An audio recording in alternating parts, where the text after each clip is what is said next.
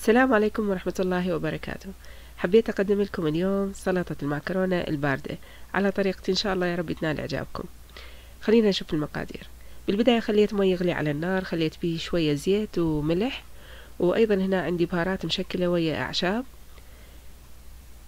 وخليت أيضا البهارات السبعة. وباكيت من المعكرونة. تقريبا كوبين كبار. أي معكرونة متوفرة عندكم. ترهم هذه السلطة. من بعد ما استوت المعكرونة صفيتها من المي وبعد ذلك راح نضيف عليها نص كوب من الزيتون الأسود أو أي زيتون متوفر عندكم نص كوب من الذرة المستوية المعلبات.